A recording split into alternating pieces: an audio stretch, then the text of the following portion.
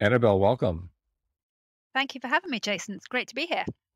I am so excited for this interview because I love, love, love walking. It is one of my favorite things to do. It is one of my favorite things to do when I'm not even in New York. I'm a New Yorker. I love walking here, but whenever I'm traveling, whether it's a new city or a beautiful landscape, I just love to get out there and walk. And so when I saw your title, 52 Ways to Walk, the surprising science of walking for wellness and joy one week at a time, I was like, I must have this. And so I, I didn't realize there were other people like me. So so let's start. What inspired you to write this great book? Well, I think there are I think there are quite a lot of us out there. but I think that there are probably a lot of people in my situation, which was, you know, going back a few years. Every time I wanted to go for a walk, at the time I had a, a large black much adored Labrador who needed quite a lot of walking. And whenever I wanted to go for a walk, which obviously with a dog was you know, twice or three times a day, uh, I kept coming up across, coming against this barrage of excuses, mainly from my family, but also from all my fair weather friends who would say things like, oh, it's too cold, or oh, it's too wet, or oh, it's too muddy, or oh, that route you've chosen is too steep, or it's too far. You know, there was always an excuse. And sometimes it was things like, oh, no, I can't, I've just eaten a huge meal, or oh, I can't, I'm really hungry, I've got to stay home and eat. You know, just so many excuses. And I just started scribbling them all down. I mean, my family were particularly bad. They would quite often, my kids would just say, oh, but walking's boring. Oh, so boring. And I thought, yeah, this is just not right.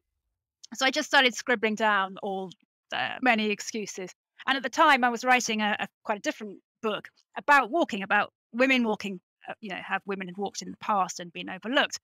And I was reading about you know Georgia O'Keeffe walking out in the middle of the night on the Texan plains, and I was reading about how much she loved windy walks. And I had a, I have a friend in London who refuses to walk on windy days. So so all of this was going around in my brain, and I thought, in the end, I thought, right, I'm going to write a book about all of the reasons that people give me for not walking, and I'm going to turn those reasons on their head.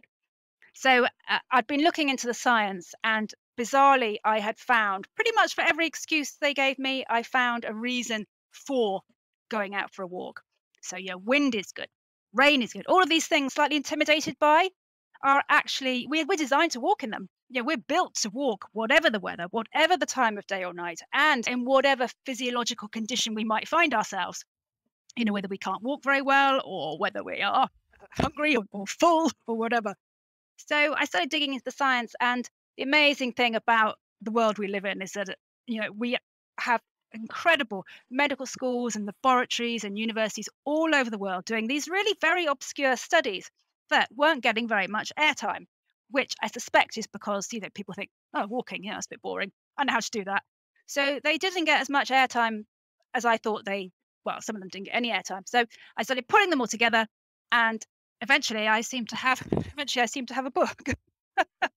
and of course, I as I was researching, I was putting them all into practice, and I was you know, going out and talking to walking coaches and botanists and ornithologists, and I found a woman who just does smell walks. And all these people would take me out, and they would say, you know, "This is how you walk with your nose," or "This is how you walk with your ears." Um, and these were things. Oh, this is how you walk when it's dark. This is how you walk silently. And these are all things that I hadn't really done myself, but uh, it sort of really changed. It, it, certainly changed how I walked, but I think it actually completely changed my life because, like everyone else, I was doing the same old walk, same old friend, same old park, same old direction. Which, again, I think in the pandemic, a lot of people got into a little bit of a walking rut. And I'm now completely out of my walking rut because every walk I do is is is still a revelation.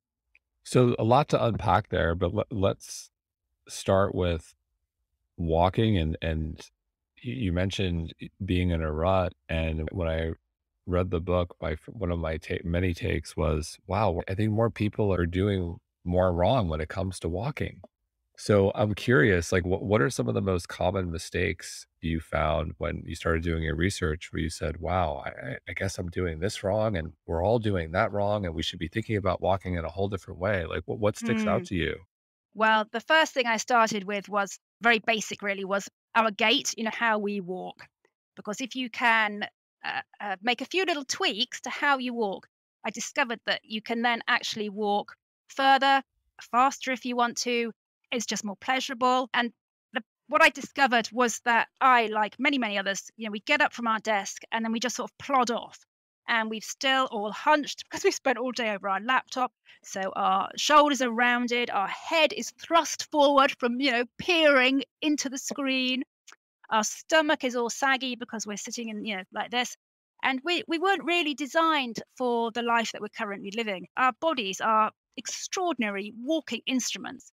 And every one of the bones and the muscles, all our limbs, they're all designed to walk, you know, not to cycle, not to sit in a chair, not just, you know, just to move uh, at that sort of pace, whether it's fast or slow.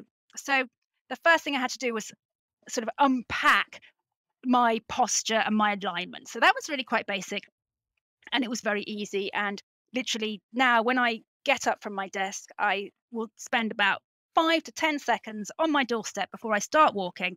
And I will just, you know, you know, get my head back so so my spine is aligned and just lift up from the ribs so that I'm not, you know, slouching. And then I roll through my feet and then I use my arms. And again, I in the past I tend to just, you know, I, I was holding onto my dog or my hands were in my pockets. But now I realize that the arms are really our arms are designed well for many things, but they're also designed to propel us along.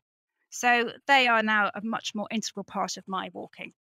So that was the the sort of first thing. To summarize, stand up straight, use your arms. Is it that simple in terms of? Well, just you need to align. Make sure that you. We all just need to push our heads back slightly so that your earlobe is sitting immediately above your collarbone, not in laptop position. And I think a lot of us don't even realize, but if you spend eight mm. hours a day on a laptop, when you get up, you're still in that position and we sort of just off we go. We haven't really unrolled, if you like. So yeah, just there's about four or five different maneuvers and it's, it's sort of automatic now but at first i had to make a bit of an effort and also working on how i was pushing through with my feet because again i was just sort of plodding off. We all think we know how to walk don't we? Yeah no i thought it was so interesting can you spend a little time on this? Because i think more often i started to think when i'm reading this i'm like huh you know and i love walking I, am pretty active i'm more i would consider myself advanced in terms of you know my, my fitness and wellness hacks but i started to really take a look at what i was doing right and wrong with regards to walking. So if you could, let's talk about feet also. Like what, what should our feet feel like when we're walking? Well, your feet, you should really be sort of rolling down, rolling through your, rolling through the ball of your foot. So going down on your heel, but not too hard. And the problem with what most of us wear, cushioned trainers, is that we are not really walking as we were intended to walk because of course we we never for, for millions of years we didn't wear cushioned trainers with with you know toe curls and things. We were in very thin soled uh, shoes. So i did switch my i did change my footwear actually to wearing quite different more minimal foot i did change to minimal footwear actually uh, which i found much more comfortable so you so you're rolling through, and you're also you're using all five of your toes. And I never I hadn't thought about this before, but you know we have five toes. You know they're there for a reason, and they are there not only for our balance but to help us push off more efficiently. So we're not all pushing off with our you know one side of our foot. So a lot of us tend to just walk with uh, the big toe side of our foot, if you like, so just slightly on the inside, but we should be using the whole foot. It's quite hard to explain that without showing you. It's one of those things that you really want someone to look at your foot and to, you know, help you roll through your toes with you, which I can't really do at the moment. But I think it makes sense. I think it makes sense. I think it makes sense. And you also mentioned that, and this is something we've talked about extensively on this podcast. I think nasal breathing. We should be nasal breathing as we walk too, right? Yeah. We should absolutely be breathing, uh, certainly always inhaling through the nose I mean, I, I, it's not so important how you exhale, but the inhale is really important. Not only because our nose has the most extraordinary filtration system. I mean, it's staggering. It has this uh, little filter in there, which is really intricate and manages to filter out all of the a lot of the pollution and the germs and the pathogens and the dirt and the dust, just the stuff that if you're walking in, in New York or London, there's a, there's a lot of it, and you don't really want it crossing over into your, you know, up into your brain or into your blood. Whenever you breathe through your mouth, there is no filtration system. It just goes straight into your lungs. So that's the first thing. And the second thing about breathing in through your nose is that we have all these incredible cells in our nose that produce nitric oxide. And nitric oxide as you may know, is this uh, incredibly important molecule that was only discovered 20 years ago, but it's now been linked to, you know, good lung health and immunity, and it helps just push blood and oxygen all the way around your body and up to your brain. So it's very simple reason. But I'll give you a little tip. If you want to increase the amount of nitric oxide that your nasal cells make, you just need to hum, just hum as you're walking. So just a little hum. Mm, can't believe I actually demonstrated that, but you know what I mean? You could probably do it more tunefully. And no one will hear it because it's at quite a low volume. But that is that that creates these extra oscillations in your nasal cells. I mean, it's it's just incredible, isn't it? It is, uh, and in terms of what I loved about the book, all the surprising benefits, specifically with a lot of science behind them, as we think about longevity.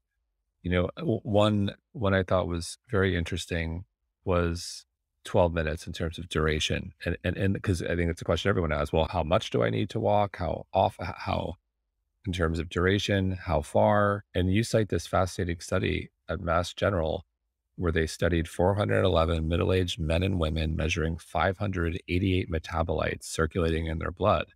And the metabolites profile how well or not well their bodies are functioning or our cells are repairing ourselves. And, and doctors use metabolites as biological markers to, to gauge our overall health, among other things. And so, punchline is researchers found that after just 12 minutes, 12 minutes of walking, these remarkably revealing biomarkers had changed for the better. I said, wow, just 12 minutes.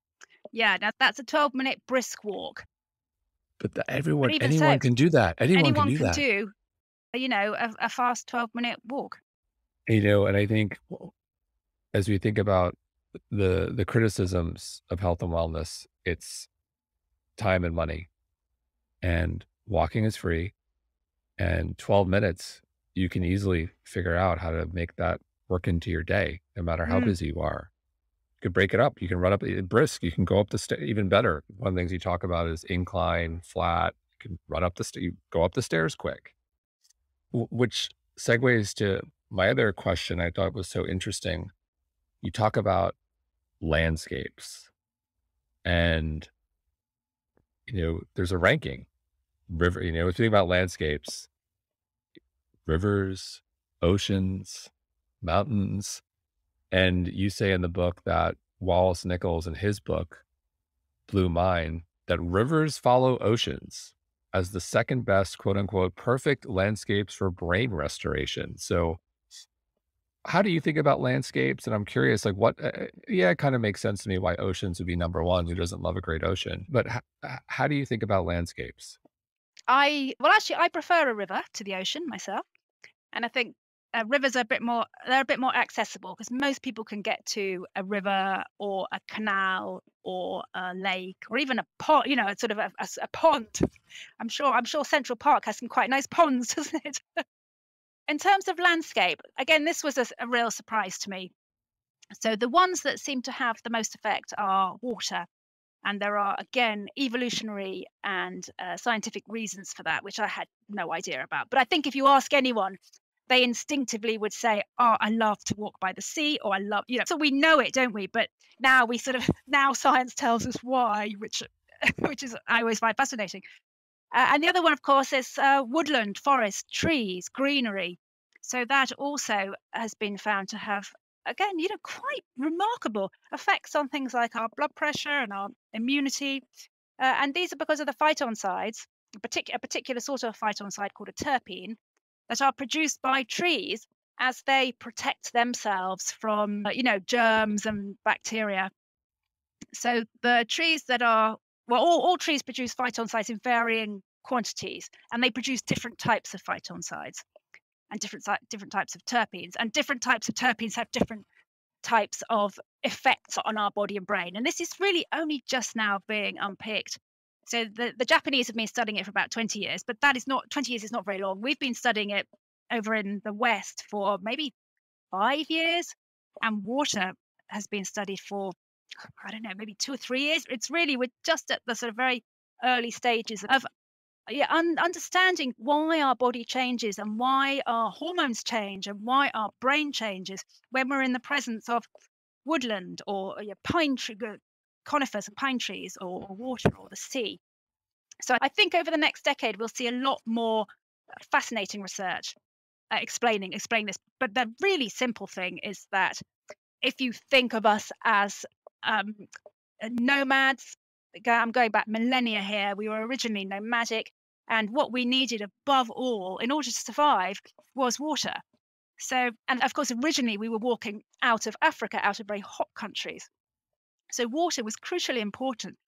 So, that message has somehow been encoded in our genes so that now when we come to water, uh, something happens in our head that says, hey, you're, you know, you're safe now. Because if you've got water, you've got food, because there's nearly always plant life and, and animal life, and you've got liquid.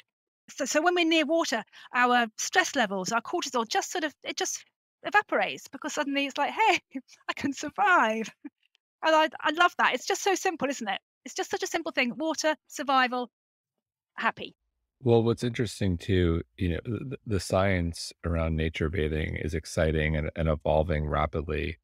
And, you know, you talk about the power of, you know, scent, the beautiful sense of nature which you know instinctually makes sense to all of us but on the flip side for someone listening who lives in the city who maybe doesn't have immediate access to a river or an abundance of trees you also i love this talk about the unpleasant smells of the city and they have it. I'm going to segue to senses specifically the unpleasant stenches. There's benefit there so let's talk about that. So one of the things that I did when I was researching was I found this woman, I'll just call her, I'll just call her a doctor of smells.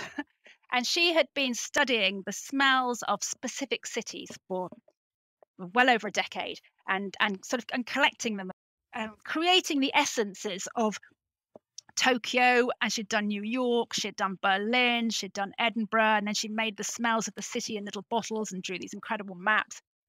And and as uh, I said to her, will you, will you take me out? Will you take me out for a smell walk? And, and she said, yeah, of course. So we went to this little English market town, and I was, I was thinking, oh, nothing to smell there. and the walk was fascinating because what she did was she showed me how to stop being so focused on vision. And of course, you know, we are, as Homo sapiens, we are slightly, slightly obsessed with being able to see, aren't we? It's all about what comes in visually. But she was like, you've just got to stop thinking about what you can see and stop thinking about what you can hear and I just want you to focus on your nose. And then we we, we walked around this town, and she made me put my nose into uh, everything from coffee shops to uh, pizza restaurants to to uh, dustbins. I had to do the whole thing, and then I had to try and articulate the smell, which we don't normally do. If we if we don't like a smell, we just walk away, don't we? Or if we do like a smell, we just say that was nice. But trying to put them into words take, took it to a, a new level of, I guess, thoughtfulness about what was happening in my nose. And then we put it onto maps and drew it and turned it into a little piece of art. That was the process that she goes through. But for me, that was a absolute eye opener. Or I should say a um nose opener, really. Nose because opener. I just hadn't thought of walking like that. But now I will walk and I will just open the door of a shop and, you know, take a take a long inhale and then just move on. I don't know what people think of that, but because it's just a way of being really immersed in the city. And the city is fantastic for smells, actually.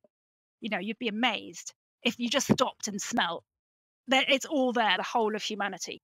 Well, before we move on to to another sense, you mentioned being immersed in the city, and you had a chapter I thought was fascinating titled "Walk Deep and Seek Out Fractals," which to me speaks to the city. So, can you talk about that? Yeah, so uh, walk deep is a, a term coined by an American writer who one day walked out of his house and decided as he walked that he would just think long and hard about every single thing he passed. In fact, the city is brilliant for this because every time you look up, you see a piece of architecture and you can ask yourself, you know, why was it designed like that? You know, who put that there? What is the purpose of that? You pass um, post boxes, you pass uh, you pass street lamps, you pass uh, you know, pavements that are perhaps are slightly wonky. Yeah, there's so much history in there, which again normally we just walk over. So it's just really about walking very, I would say, sort of almost mindfully, but in a very Yeah. immersive way, and making yourself. It's not a fast walk. You can't do that. You can't do that as a power walk, but and very much using your eyes and looking up. We tend to just walk and just look at eye level. But again, when once you look up, particularly in cities, and particularly somewhere like New York, you know, the half of New York is up. So you look up and you can see all sorts of extraordinary things. And in fact, in fact looking up is amazing wherever you are because you have the whole of the sky above you, which again is something that we we don't really we don't really enjoy as much as we should. Yeah, could you talk a little bit more about panoramic vision and why it's critical? Yeah, so uh, going back to the postural alignment, first thing I do when I get onto my doorstep, actually even before I've twiddled around with my shoulders and my neck and my arms, is I look out into the distance. And it's really important that we do this because we're spending so much time on screen when we're not on screens for work we're on our you know we're on our iphone we're scrolling or checking emails or we're you know, reading on a kindle. So you know we're on our screens all the time and again our bodies just weren't designed for that at all.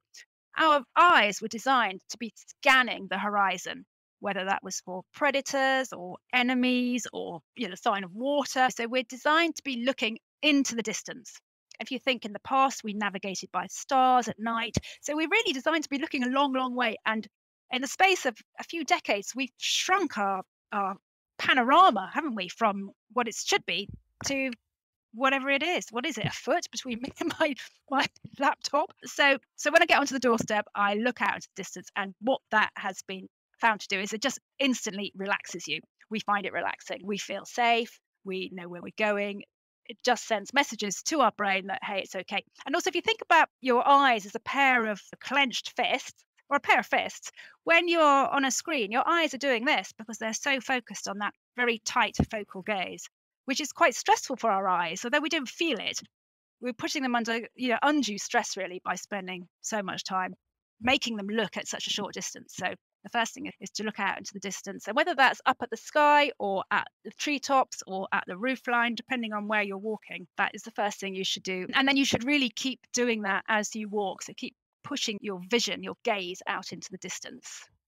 You cite this fascinating study in the UK that found that listeners to natural sounds reported a 30% increase in relaxation. And in terms of natural sounds, birdsong was the runaway winner, with 40% saying it made them feel happier. Oh, yeah, we love birdsong. We don't have much of it left. so, so I, look, that totally makes sense. I'm curious. People tend to walk with their earbuds in. They're mm. listening to, you know, they're probably listening to this podcast right now, which they should, should continue to do. But I'm curious Absolutely. as you think about, you know, really enjoying the full benefits of walking. D- do we benefit from being really engaged, listening to a podcast or music or texting? Like, what are some, as we think about ears and how we want to really benefit from walking? how do you view listening to other things other than the natural sounds around you? Well, I'm quite a big fan of listening to podcasts as I walk, I have to be honest. As am I, as am I. But but also if you think about it, Jason, it's the a sort of walk you're doing. There are walks where we might be able to hear lots of birdsong or, you know, the crashing waves, and that's fantastic. But if you're in New York or London, there are a lot of there's a lot of walking I do where all I can hear is traffic. And on those walks, you know, if I'm walking uh, to an office or a meeting or to the supermarket or whatever it is, there, there is no bird song and there are no crashing waves and there are no waterfalls or anything. So I will then I would absolutely listen to a podcast, not all the time, but but quite often.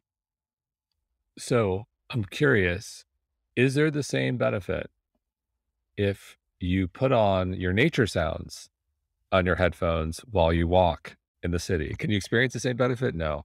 No, apparently not. So, in some of the studies that's done, they have done exactly that.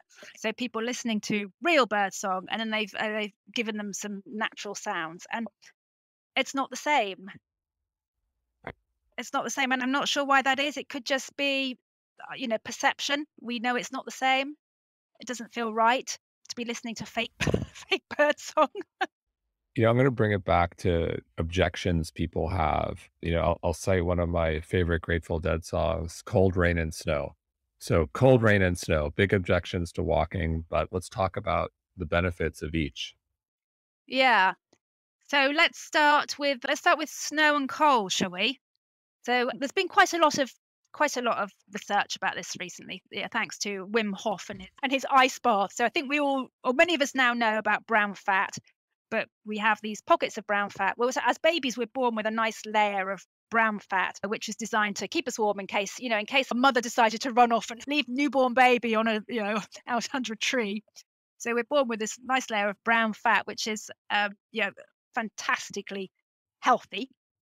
And I'll explain why in a minute. As we get older, we shed our brown fat, but we do keep little pockets of it. So we tend to keep it around the tops of our shoulders and around our collarbones. Those are classic places to keep a bit of brown fat. Now, brown fat sounds it sounds horrible, doesn't it? it's a particularly unpleasant word, really.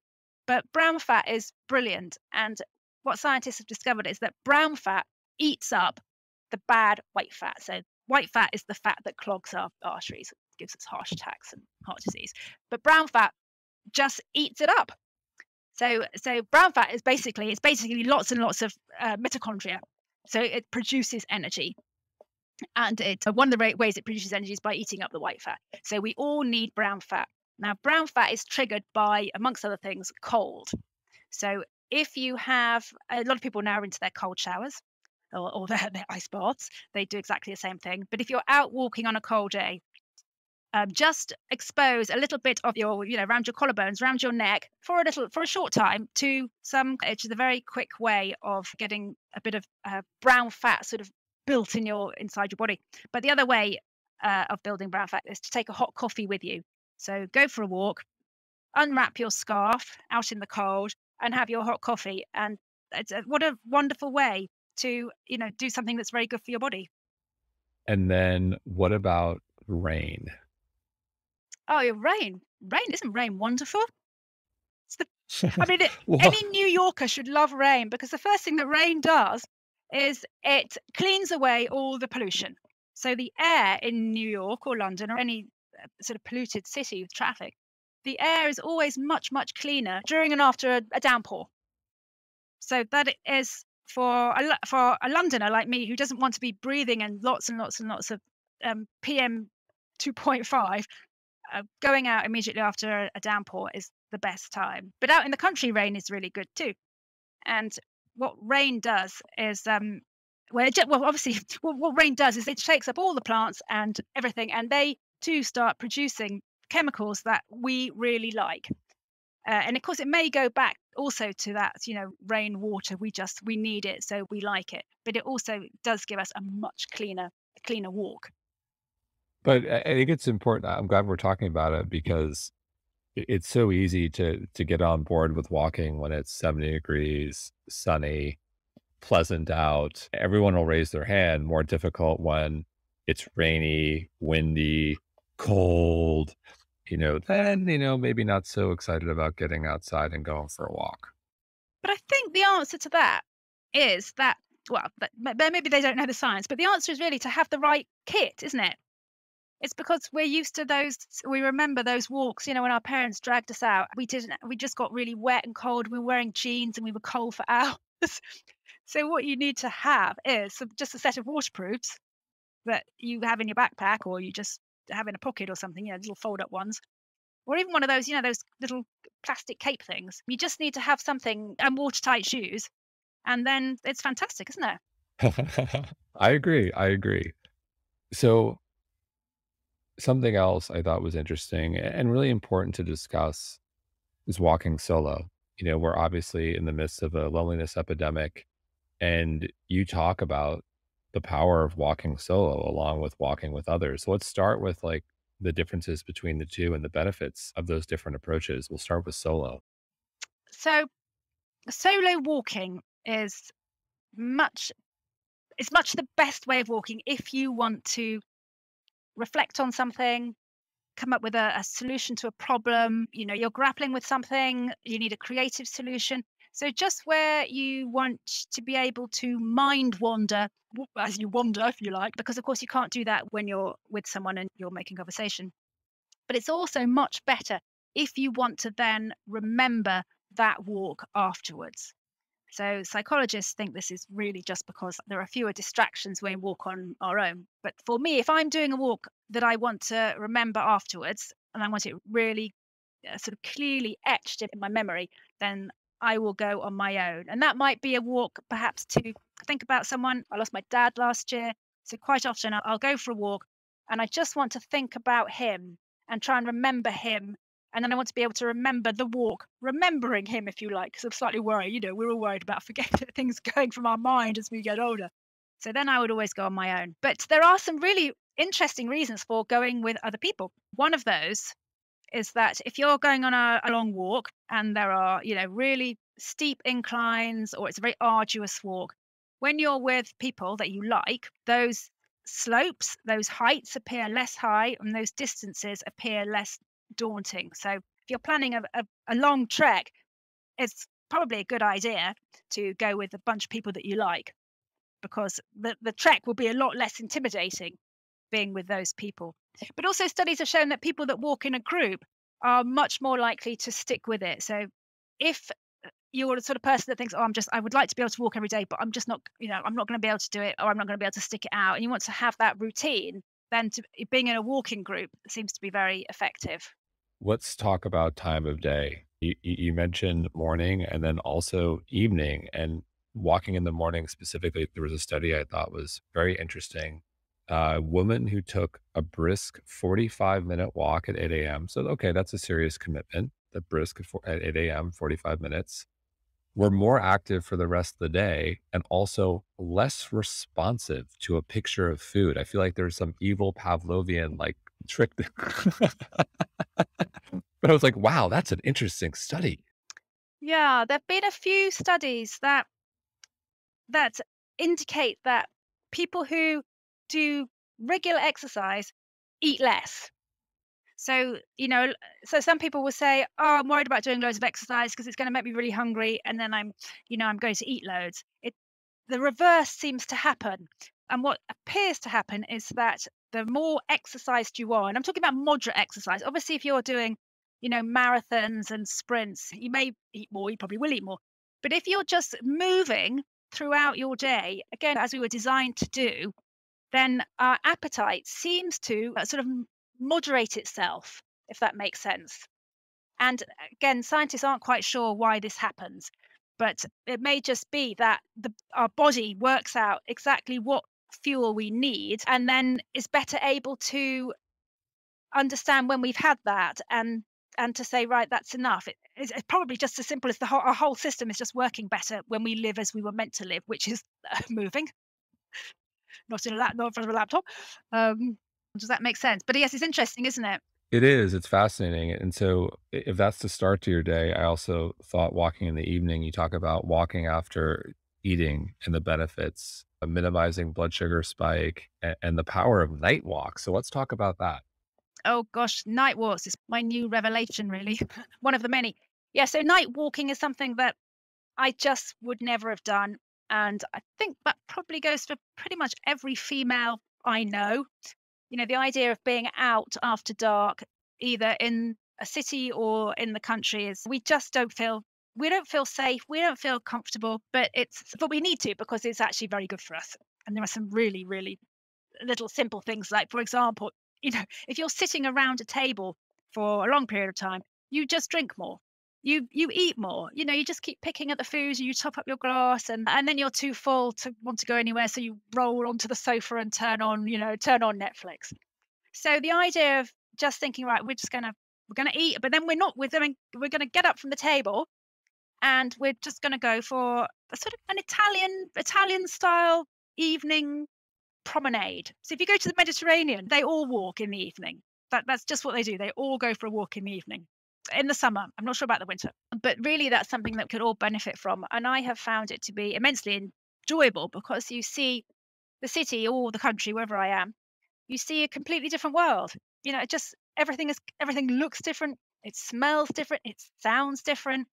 So you feel as though you've gone and in this age of the pandemic we can't travel it felt to me like i was having a little little holiday by going out in the dark you come home and you sleep well because also the other thing that the darkness has done is the darkness has triggered your production of melatonin. So you come back, and instead of having sat in front of bright screens, you come back and your body is saying, right, the melatonin knows you're ready to sleep now. I love it. And you know, you, mentioned COVID and walking and, and and loneliness, and I think these are still very real things. And I loved that you talk about smiling. The power of smiling when you're walking has health benefits. Yeah. So the study I really liked, I think I mentioned it in the book, the study I really like, it's it's the one that looks at the cascade effect. So if you if someone smiles at you, Jason, when you get up in the morning, you go for a walk, someone smiles at you and says good morning to you, you are many, many, many times more likely then to smile at someone else and say good morning or just smile. And then likewise, they are many, many, many more times likely to pass it on. So you get this sort of chain reaction of smiling going around. And I think we've all had that experience, haven't we, of, of walking out onto the street, you're feeling a bit flat, and someone just says, Good morning, or even just smiles at you. And it, it's nice, isn't it? It, it it is, and you know, as I think about loneliness and you know, look, it's always important to have real, deep, meaningful IRL connections, but the power of just smiling to a stranger, you know, I know that I've had days, I've had bad days. I go back years ago where just, you know, that that smile can just really make a difference when you're kind of down. Uh, Yeah. complete stranger can, can really help turn your day around. Powerful. I th- and I think the fact that they are a stranger makes it so much more powerful, doesn't it? Because they didn't need to do that. Right. Uh, whereas, of course, if it was your friend or neighbour, you know, the chances are they would have said hello and smiled. But for a complete stranger to almost go out of their way and take a bit of a risk, because you do take a slight risk, don't you, when you say good morning to a stranger? Cer- certainly in, in London, not, not in small villages or towns, but certainly in London and New York. I mean, I, I one morning I went out and I said to myself, right, I'm going to say good morning and smile to everyone. And the first person I said good morning and smile to, she just completely ignored me. she just walked straight past me, and I thought, okay. So there is that risk of rejection, isn't there? So it's a, a small thing to do, but it's also a brave thing to do. So I think when someone does it to me, I'm, I'm really appreciative. I'm curious of all the research you you did, and, th- and there were some great tidbits in the book. What was there one that stood out to you that was most surprising? Of everything, Yeah, one study, one story, like really grabbed your attention. uh, oh, I think perhaps the studies on trees and what trees do to us, I found uh, mind blowing actually. That you can walk an, in a forest of evergreens and come home and the the effect in terms of how well you sleep is the same as if you were given a sleeping pill and that's pretty i mean that's Wow. that's pretty wow But, isn't it okay, we got to stop there. So, like, I'm curious, what types of trees? How long was that walk in the trees to get the effect of a sleeping pill? Or do, do we know any of those? oh and the other thing again with the evergreen trees was that was that they took scots they took the terpenes from scots pine trees and put them in a petri dish with a tumor a breast cancer mm. tumor and the tumor shrunk away so they've now found that the terpenes particularly from certain pine trees have this sort of anti-cancer effect because what they do is they increase our T cells, which is one of our immunity cells. So, so I mean that's Uh, that is extraordinary to me. So when I read through those reports, I, I spent the whole time thinking I must get to an evergreen forest, but, but here in London I couldn't find any. But anyway, I found some in the country.